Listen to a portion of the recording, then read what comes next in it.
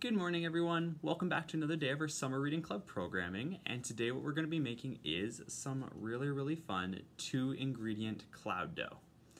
So, what you'll need for today's craft is some hair conditioner. I'd recommend using something that smells really nice. I love strawberries, so mine is a strawberry smelling hair conditioner. You will need some cornstarch, I would recommend grabbing some measuring cups. I just have two one cup measuring cups here. And a really nice big bowl, as well as something to stir with. So, what you'll want to do to get started is, with your measuring cup, again, one cup, add your cornstarch. Now, usually what you want to do for this cloud dough is have one part cornstarch and one part conditioner for your first step. So what that means is if I put in one cup of cornstarch, I'll want to put in another one cup of hair conditioner. There we go, almost there. And as you see, I'm wearing an apron today. Cornstarch goes everywhere. It's really, really messy. So if you need to wear apron or clothes that you're not afraid to get a little dirty, then that might be a really, really good idea. Okay, just like that. And as you see, I have my one cup of cornstarch. So now I'm just gonna add that to my bowl. There we go. Now our next step is again to grab another one cup. I'd recommend using a different measuring cup just because the liquid will get all over the cornstarch. And now you can put the hair conditioner in your measuring cup. And don't worry, it will take lots of hair conditioner, but I promise it is worth it. Just a little bit more. There we go. Just like that. I have my hair conditioner in. If you feel like you need to add a little bit more, then that's okay too. I am just going to add a little bit more to my mixture here. Just that way, I have one cup worth of hair conditioner and one cup worth of cornstarch. Now, next step is to grab whatever you're mixing with. I have both a spoon and a little stir stick here, doesn't matter. And then in your bowl, you just want to start mixing. Make sure you get all the cornstarch mixed with the hair conditioner. And you have a really, really nice smelling hair conditioner. It can smell really nice. As I said, I absolutely love strawberries. It's one of my favorite fruits. So my cloud dough will smell exactly like strawberries. There we go. And it will take some time to mix it. Don't worry. I promise it's worth it, so be nice and patient. But make sure that you're getting all along the sides of the bowl, and then you're bringing it right to the middle to just keep mixing. Now, it will start to look like melted marshmallows when you're almost ready to be finished this step. So you know how you have like s'mores and your marshmallows melt on the fire? Just like that. It'll be really, really sticky.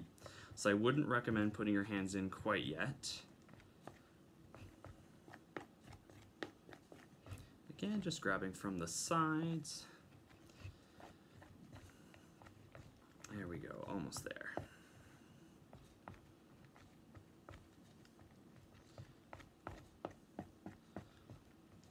Awesome. And this is what mine looks like. Nice little fluff. You see? It's a little thick, but not too, too thick quite yet. So, what you want to do next is you start gradually adding your cornstarch. And this is where, once you add a little bit of cornstarch, you stop and stir it in with what you already have, and then you will see that your mixture here, your dough, will start to get a little bit less wet and a lot drier with the cornstarch because it's absorbing the moisture. And that will start to make this from being really, really sticky marshmallow fluff into more of a dough, as you see with this one right here. And once you have all of the cornstarch mixed in, you just keep adding some more until your mixture looks a lot more like dough.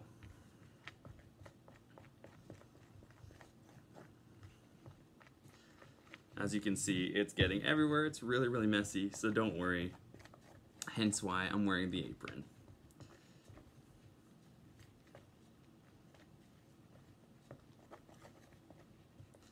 There we go. It's starting to thicken up quite a bit more. And once you're finished, you'll really want to say it's like two parts cornstarch to one part hair conditioner. So if I put in the one cup of hair conditioner like at the start, I'll have about two cups worth of cornstarch in my dough here. But mine is still looking a little bit liquidy, so I will need to add some more cornstarch. And the reason that you do it gradually in little steps is because your dough will start to crack if you put, say, your two cups of cornstarch in with your one cup of hair conditioner. So it's better to do it nice and slowly so you can really measure just how much cornstarch you need for your dough. All right, and mine's starting to get a little bit harder to mix, so I'm going to trade out my stir stick for a spoon and then just keep mixing. There we go. And mine is still a little liquidy, so I'm gonna add some more cornstarch. There we go. Awesome.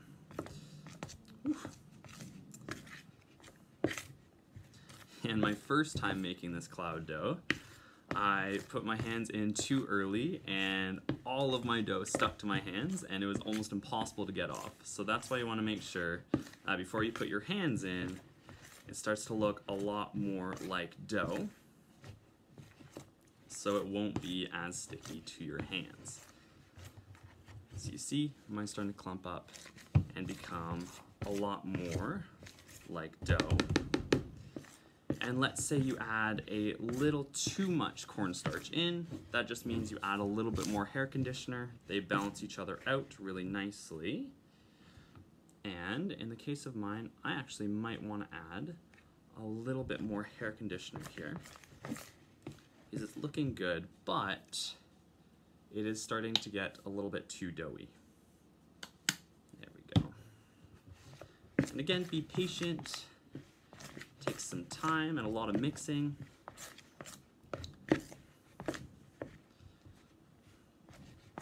Alright, but you know what? I'm feeling pretty confident that I can now just start to use my hands with this dough and mixture.